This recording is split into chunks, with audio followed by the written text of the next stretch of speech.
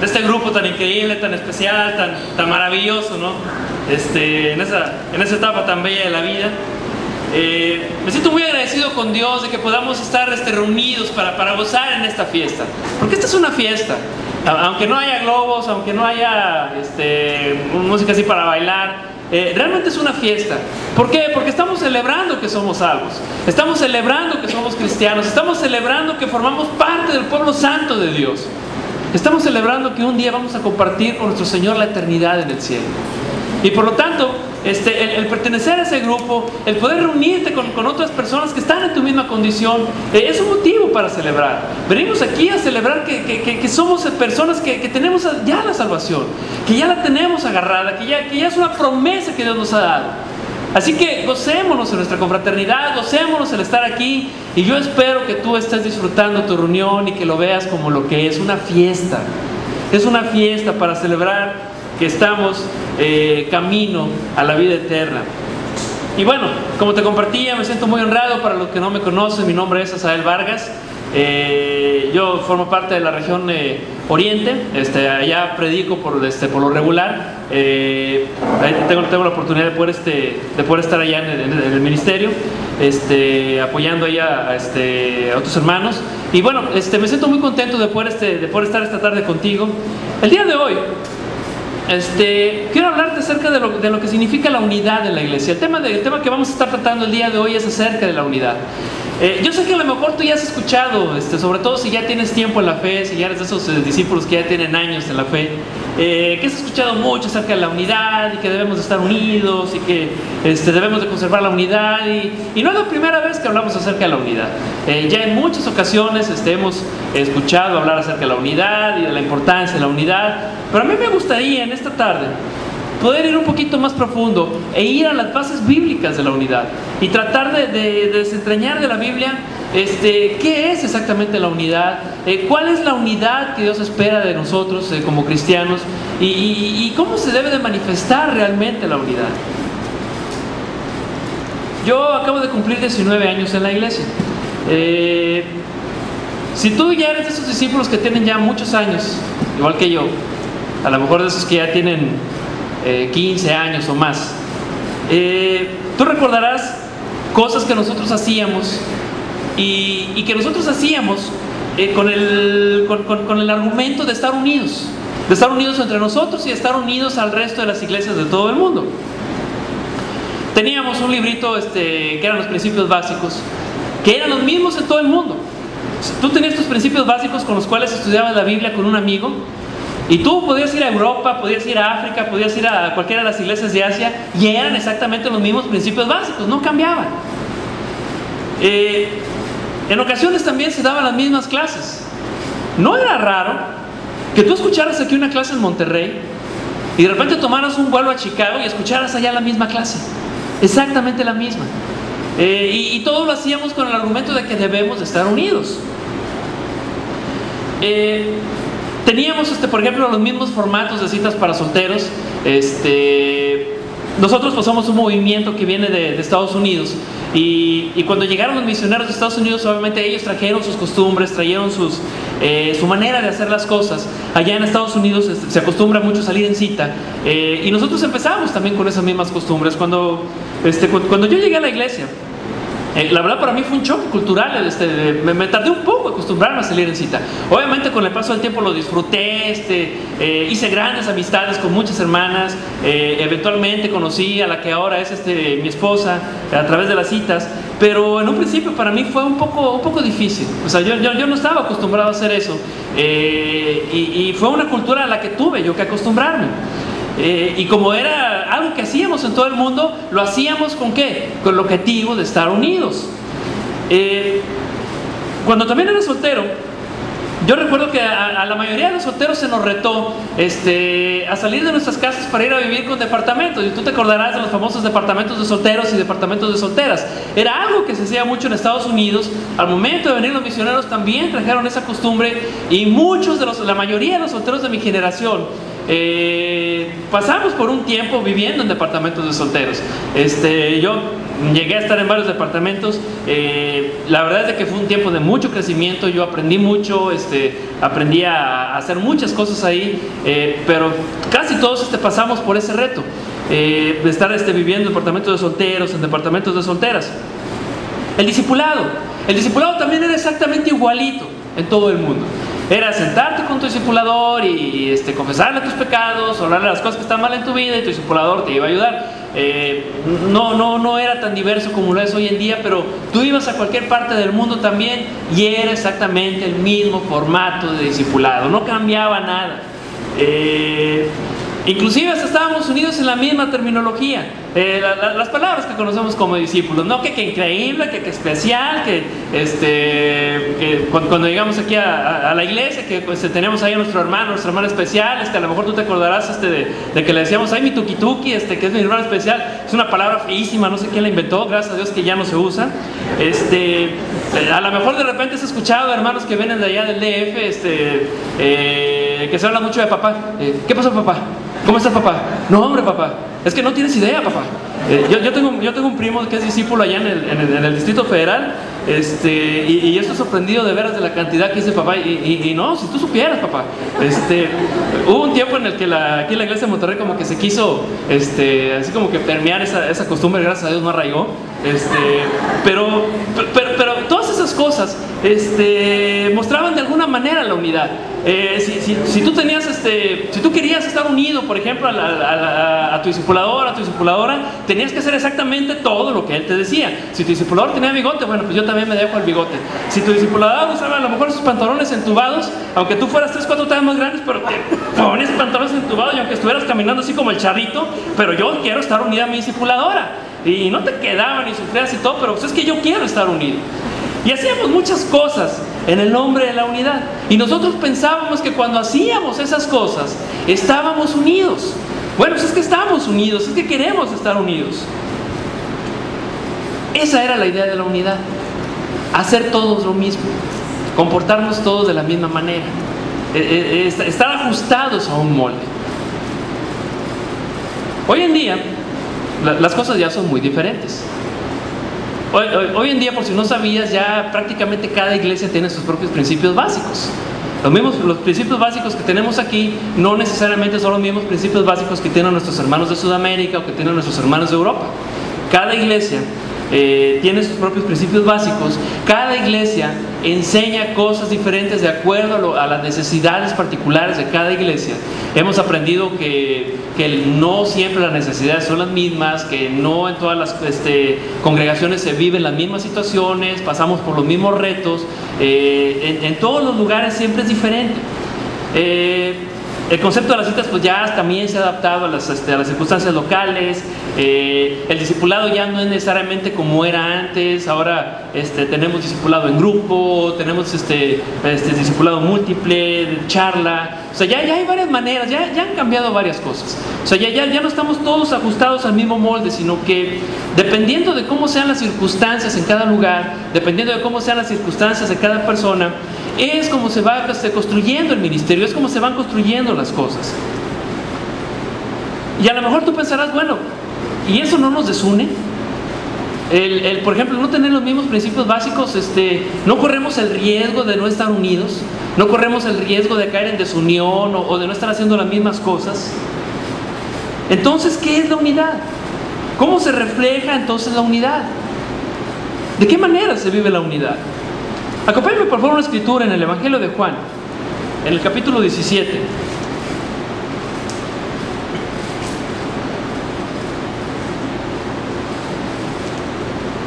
Juan capítulo 17, versículo 20. La clase de hoy se llama ¿Qué me debe unir a la iglesia? ¿Qué es lo que nos debe unir a la iglesia? ¿Qué significa la unidad en la iglesia?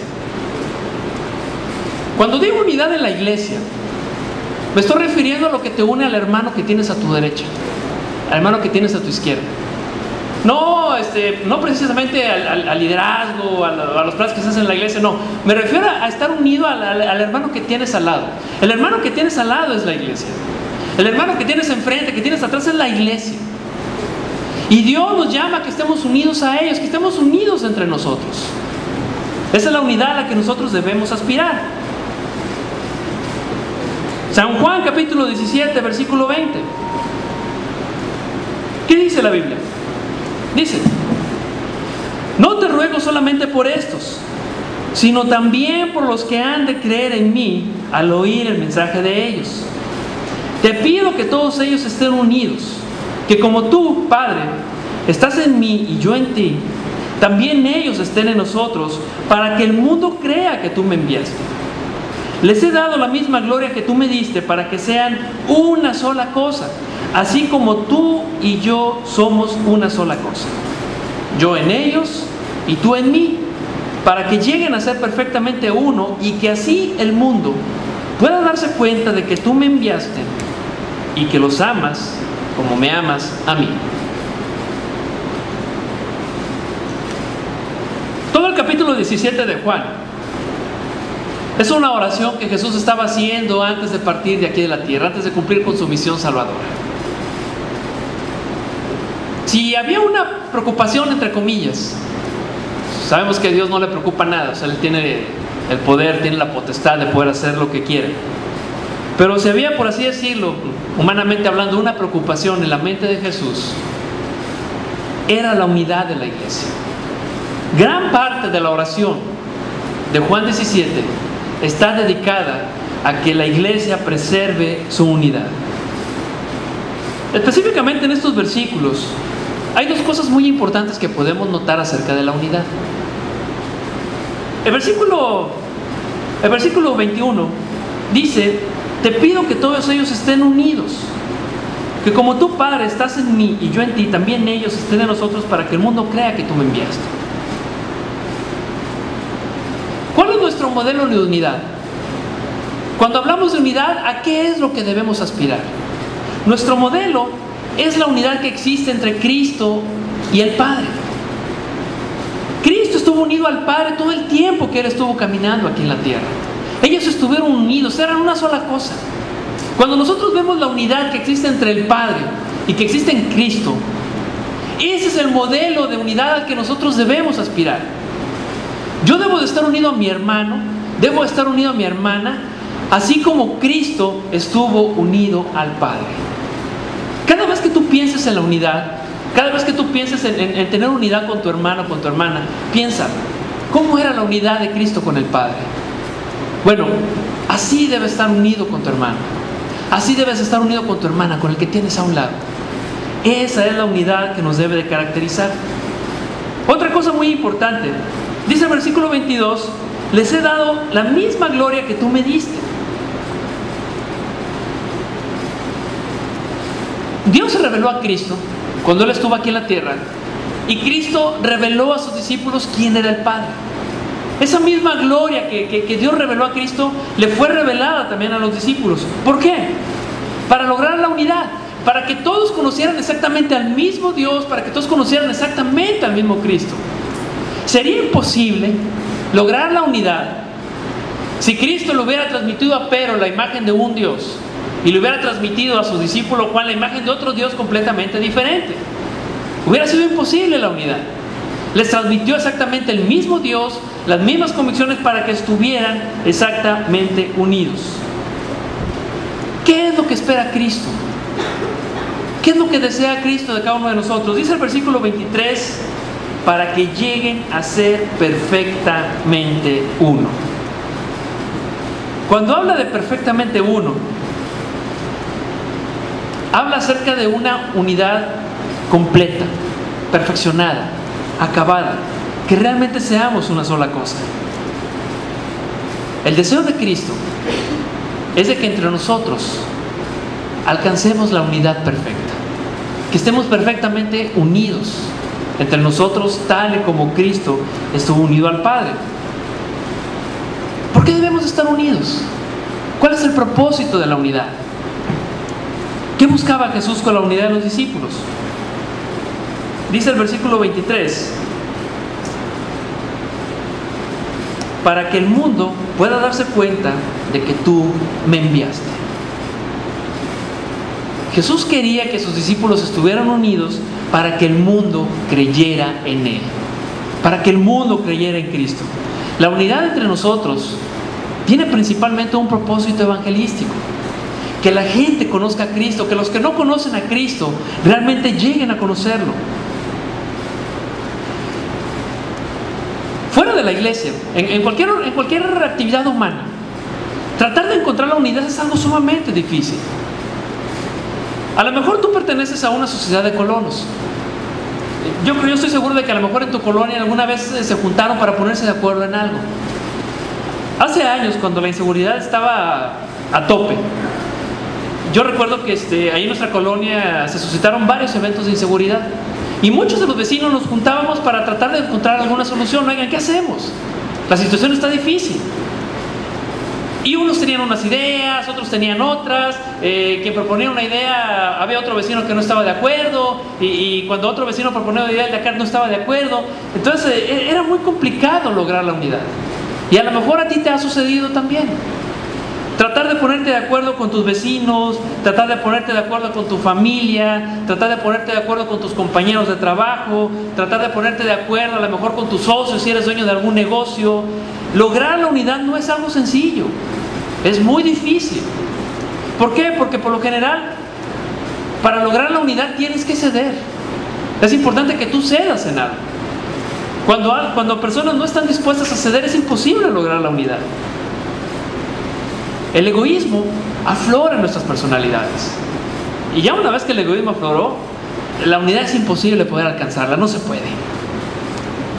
Entonces, si nosotros aquí en la iglesia logramos la unidad perfecta, si nosotros aquí estamos unidos, como Cristo estuvo unido al Padre, imagínate el testimonio tan poderoso que daríamos al mundo.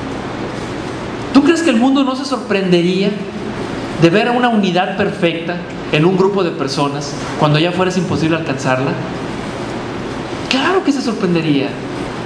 Sería un testimonio verdaderamente poderoso. Las personas que quedarían impactadas, wow. O sea, ¿cómo le hacen para estar unidos? ¿Cómo le hacen para tener esa unidad entre ustedes? Será un enorme testimonio a favor de Cristo. ¿Por qué? Porque simplemente en el mundo no vas a encontrar algo así. En el mundo no se va a encontrar una unidad perfecta. Ah, vea cualquier negocio, a cualquier empresa, a cualquier lugar de trabajo, por más excelente que se vea, no existe la unidad perfecta. Ah, sin embargo, aquí en la iglesia nosotros realmente podemos alcanzarla. Si nosotros nos determinamos. Filipenses capítulo 1, versículo 27.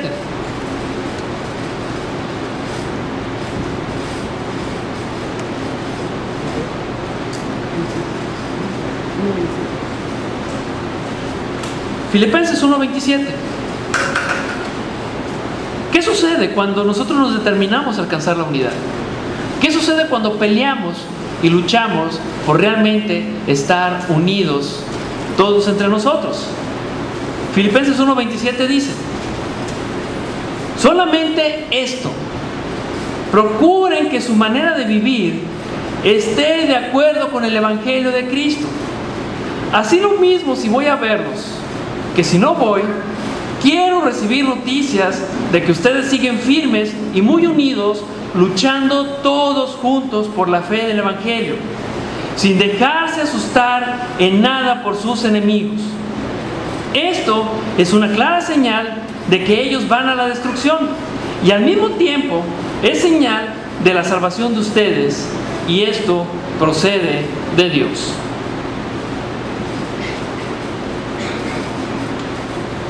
Líneas, Pablo las estaba escribiendo a los hermanos de Filipos, a sus hermanos filipenses. Y Pablo dice, solamente esto, procuren que su manera de vivir esté de acuerdo con el Evangelio de Cristo. Un deseo muy fuerte de Pablo era que nuestras vidas estuvieran de acuerdo con el Evangelio de Cristo. Todos aquí hemos tomado la decisión de hacer de Jesús nuestro Señor y hacerlo nuestro Salvador.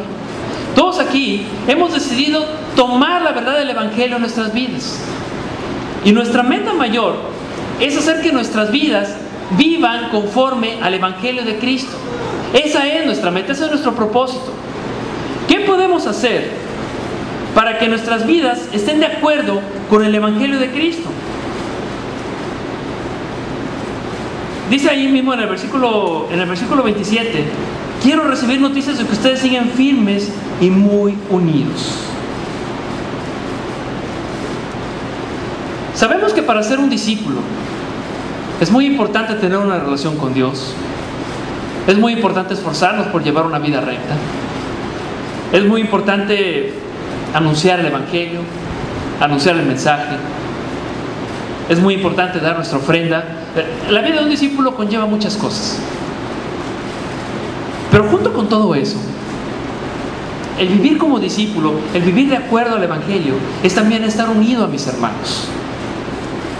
Si tú estás unido a tus hermanos, si tú buscas una unidad perfecta con cada uno de tus hermanos, tú estarás viviendo de acuerdo al Evangelio. Tu vida será una vida digna del Evangelio. Y eso es a lo que nos llama Cristo, que seamos dignos del Evangelio. Cuando estamos desunidos, cuando existe alguna desunión con mi hermano, con mi hermana, cuando ese lazo de unión que debería estar ahí presente está roto y no está fijo, vivimos de manera indigna, no somos dignos de estar viviendo el Evangelio. Y a lo mejor podrás hacer muchas otras cosas que hacen los cristianos, pero tu vida no estará completa. No estarás completamente apegado al Evangelio de Cristo mientras tú estés desunido con alguien. Mientras haya lazos rotos de unidad. Una iglesia desunida es una iglesia que vive de forma indigna el Evangelio. Es decir, es como si nunca hubiera recibido el Evangelio. Como si siguieras viviendo sin, sin recibir el Evangelio. ¿Qué es lo que nos debe de unir como discípulos? Hace rato decíamos que hacíamos muchas cosas como tener los mismos principios básicos, tener las mismas costumbres, hacer las mismas cosas con el argumento de estar unidos. Pero entonces, si no es eso, si no son esas cosas, ¿qué me debe unir? ¿Qué es lo que nos debe unir a nosotros como discípulos? Ahí mismo en Filipenses, en el capítulo 2, en el versículo 1,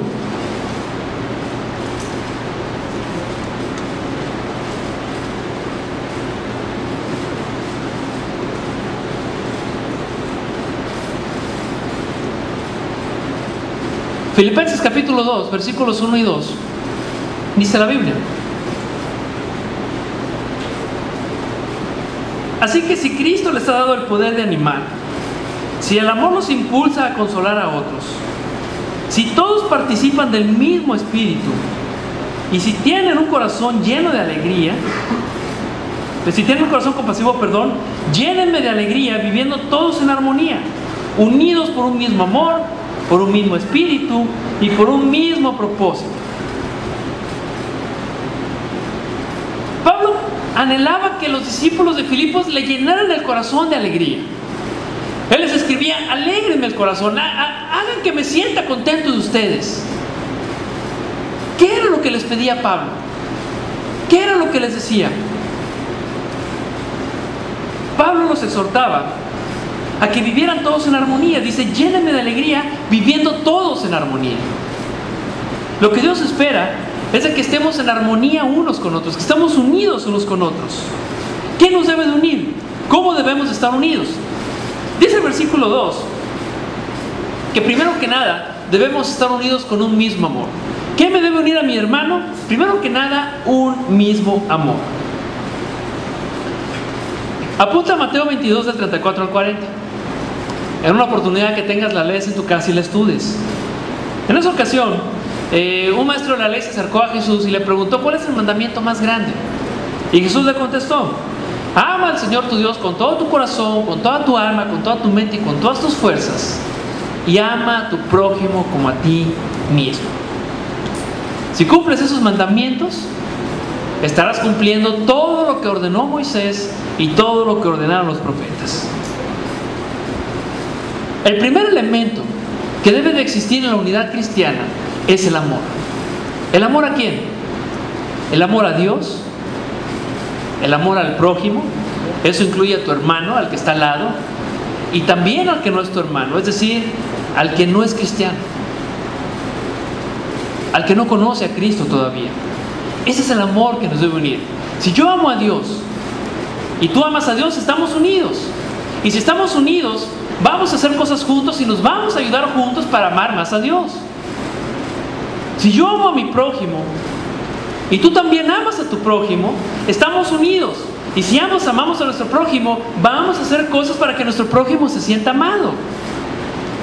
Si tú amas al inconverso y yo amo también al inconverso, estamos unidos por ese mismo amor. Entonces vamos a hacer cosas que, demuestren que realmente amamos a los inconversos y los vamos a ayudar. A lo mejor tú harás algunas cosas que no necesariamente van a coincidir con las que yo hago. Pero el amor que nos une va a hacer que tengan el mismo fin. Que amemos a Dios, que amemos a nuestros hermanos y que los que no conocen a Cristo lleguen a conocer. El primer elemento que debe existir en la unidad cristiana es el amor. Si tú amas a Cristo, si tú amas al prójimo, si tú amas al que, al que, al que no es cristiano, entonces ese amor debe estar presente en la unidad. El segundo elemento, dice Pablo, unidos por un mismo espíritu. ¿A qué se refería Pablo con estar unidos en un mismo espíritu? Básicamente lo que se refería es de que todos seamos de un mismo sentir, que todos compartamos la misma forma de sentir. Yo tengo mis prioridades y a lo mejor son muy distintas que tus prioridades. Yo tengo mis metas, yo tengo mis sueños, yo tengo mis objetivos para mi vida. Y tú tienes definitivamente los tuyos. Y a lo mejor el, hecho de que nuestros objetivos y nuestras metas sean diferentes puede ser un poco difícil. Que estemos unidos en un mismo espíritu, que, que sintamos exactamente de la misma manera. Pero realmente se puede lograr, realmente podemos lograrlo. Apunta ahí este Filipenses 2 del 19 al 21. En una oportunidad que tengas, léela y observa cómo Pablo se expresaba de Timoteo. Pablo decía que Timoteo compartía sus sentimientos. Él, él, él, él, comparte la misma manera de pensar que yo tengo. Él comparte también el mismo sentimiento que yo tengo. Otras personas a lo mejor buscan sus propios intereses. Otras personas buscan sus, propias, este, sus propios beneficios. Pero Timoteo y yo realmente sentimos de la misma manera. Y si Pablo y Timoteo pudieron llegar este, a compartir el mismo sentir, pudieron llegar a sentir exactamente igual, tú y yo también podemos lograrlo. Tú y yo también realmente podemos sentir exactamente de la misma manera. Otra escritura que, me gustaría que estudiaras y que apuntaras es Filipenses 4, del 8 al 9. Ahí en esa escritura, Pablo exhorta a los filipenses a poner en práctica lo que Pablo les enseñó. Pablo mismo fundó la iglesia de Filipos. Y cuando Pablo estaba ahí presente, él mismo se encargó con su ejemplo de enseñarles cómo deben de vivir de manera cristiana. Y Pablo les decía, así como yo he vivido, ustedes también vivan. Cuando nosotros nos apegamos al estudio de la Biblia y nos determinamos a vivir conforme la Biblia nos enseña, tarde que temprano vamos a estar sintiendo de la misma manera. Y tarde que temprano vamos a estar unidos en un mismo espíritu. Todos al final de cuentas debemos de ir a, nuestro interés común que es la Biblia y qué es lo que las escrituras nos ordenan. Cuando, cuando todos este, vayamos y tomemos ese estilo de vida que la Biblia nos pide y realmente lo pongamos en nuestro corazón, vamos a empezar a vivir unidos en un mismo espíritu. Ese es el segundo elemento. El tercer elemento que dice Pablo en Filipenses 2.2 es que estemos unidos en un mismo propósito. Estemos unidos en un mismo propósito. ¿Cuál es nuestro propósito como discípulos? ¿Cuál es el propósito para el cual Dios nos trajo? Anunciar a Cristo. Que la gente conozca a Cristo. Que las personas que no lo conocen sepan quién es y sepan lo que puede hacer por, por ellos. Ese es nuestro propósito. Obviamente en el camino tenemos una meta.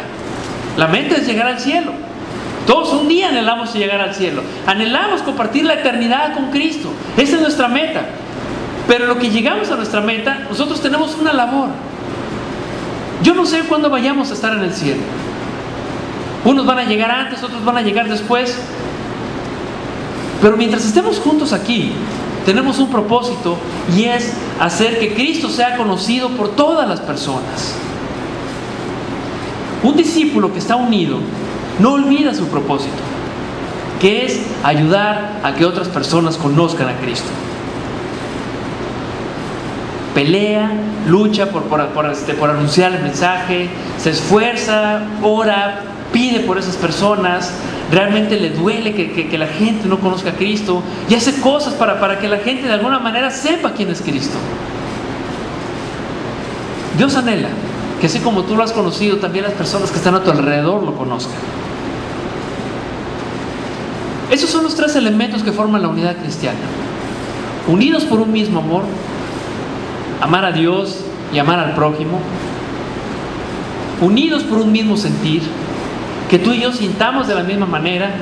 Y eso solamente lo vamos a lograr a través de un estudio profundo de la Biblia, a través de imitar a Cristo, a través de que todos juntos estemos imitando a Cristo y unidos por un mismo propósito, que todos juntos estemos unidos en ir y anunciar el Evangelio.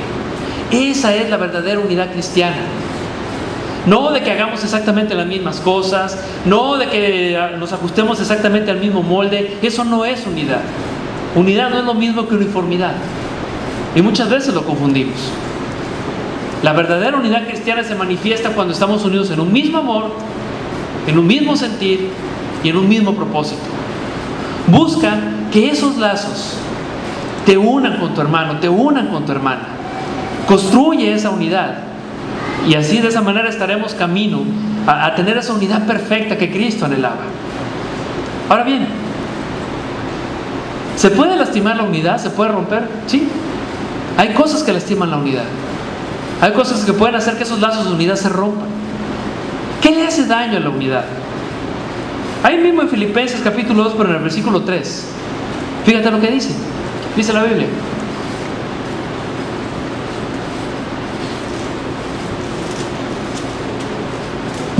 No hagan nada por rivalidad o por orgullo, sino con humildad y que cada uno considere a los demás como mejores que él mismo.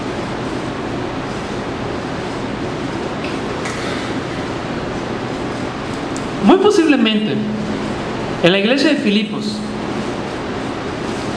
había algunos celos entre hermanos. Y eso causó que empezaran a surgir algunas diferencias. De hecho, si tú lees Filipenses 4.2, eh, tú vas a ver que Pablo exhortaba a, dos hermanas a que se pusieran de acuerdo. ¿Qué es lo que había sucedido? No lo sabemos. Pero había una diferencia entre ellas y la unidad estaba en peligro, estaba, estaba en peligro de romperse. Entonces, ese tipo de cosas pueden dañar la unidad. Cuando hay, malas cuando hay malos motivos, cuando no tienes una motivación pura de servir a Cristo, sino que más bien tienes un motivo personal y egoísta. Cuando hay rivalidades, cuando te pones al tú por tú con otro hermano y, se ponen ahí a jugar vencidas a ver este a ver quién puede más o a ver quién este quién es este más eh, a ver a ver quién tiene más galleta eh, cuando hay orgullos cuando tú no estás dispuesto a ceder cuando hay conflictos sin arreglar cuando de repente hay diferencias y pasa el tiempo y, no arreglas el conflicto con tu hermano, con tu hermana. Cuando tú te sientes o cuando tú crees que puedes hacer las cosas mejor que tu hermano. Eso puede ocurrir mucho de que ves a tu líder a lo mejor hacer algunas cosas y dices, ah, no sé cuánto, yo, yo, yo podría hacerlo mejor. A lo mejor sí. Pero eso no es el punto. El punto es de que Dios lo puso ahí y de que Dios le dio a él el encargo. Tú puedes hacerlo mejor, tal vez. Pero eso no te da el derecho de sentirte a un nivel superior que él y tratarlo con desprecio. Todas esas cosas lastiman la unidad, impiden que seamos la iglesia verdadera. Un poco más adelante, en el, versículo 4 de, de Filipenses 2, dice,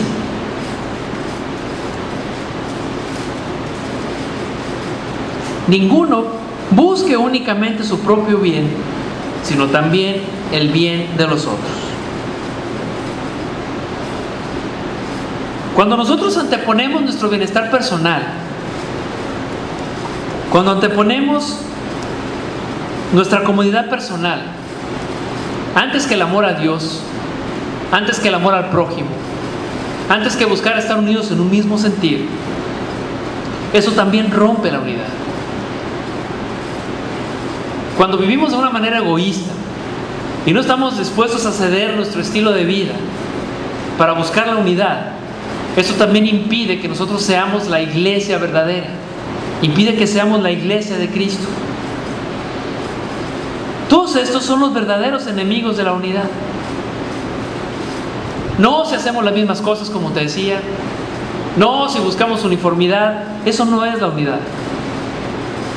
La unidad es cuando estamos unidos en un mismo amor, en un mismo sentir, en un mismo propósito y buscamos poner eso como estandarte. Y si nosotros construimos eso, realmente estamos construyendo la unidad. Como conclusión, ¿qué estar perfectamente unidos? ¿Cómo yo sé que estoy unido a mi hermana? ¿Cómo yo sé que estoy unido a mi hermana? Cuando nos une el mismo amor que tenemos por Dios, cuando nos une el mismo amor que tenemos por la iglesia, por nuestros hermanos, y cuando nos une el mismo amor que tenemos por los inconversos. Cuando nos une el mismo sentir espiritual que tenemos ante las circunstancias. Cuando buscamos sentir de la misma manera. Cuando nos une el mismo propósito por el cual estamos trabajando, que es el anunciar a Cristo, que Cristo sea conocido ante las demás personas. Y cuando no permitimos que nuestros intereses o nuestras debilidades de carácter afecten la unidad de la iglesia. Si yo cumplo con todas esas cosas, estoy unido a mis hermanos. Pero si hay una sola de ellas que realmente no esté cumpliendo, no estoy unido a mis hermanos y no estoy viviendo una vida digna del Evangelio. ¿Estás unido con la iglesia? ¿Estás unido con el hermano de al lado? ¿Con el hermano de atrás? ¿Tú te sientes unido con tus hermanos? ¿O hay algún lazo roto en el cual tú debas trabajar? Lo que vamos a hacer ahorita es de que vamos a armar grupos por charlas y vamos a discutir lo que acabamos de ver. Vamos a discutir acerca de los puntos que forman la unidad, y, trata de reflexionar en esos momentos si tú estás unido o hay algo que te está afectando ahorita en esos momentos la unidad. Este, ahorita este, va a pasar nada más un hermano a dar los anuncios. Después de los anuncios nos vamos a reunir por charlas. Y ya para terminar, acompáñame a hacer una oración, por favor. Padre, muchas gracias te doy por esta tarde. Gracias por estar acompañando aquí a mis hermanos, Dios, eh, en, este, en, esta tarde para ir a las escrituras y buscar realmente lo que es la verdadera unidad. Yo te pido, por favor, Padre, así como Jesús te lo oró en su momento, para que todos estemos unidos, Señor. No permitas que, que haya lazos rotos, no permita que haya relaciones rotas entre nosotros, sino que haya un verdadero lazo de unidad. Así como tú estuviste unido al Padre, a Cristo, cuando Él estuvo aquí en la tierra, nosotros también queremos estar unidos entre nosotros. Ayúdanos a esforzarnos y a pelear por buscar esa unidad perfecta, por buscar esa unidad verdadera, para que así la gente se dé cuenta de que tú enviaste a nuestro Señor Jesucristo y de que solamente a través de Él podemos tener salvación. Permítenos pelear por esa unidad, ayúdanos a alcanzarla y que para ti sea todo el honor y la gloria, Padre.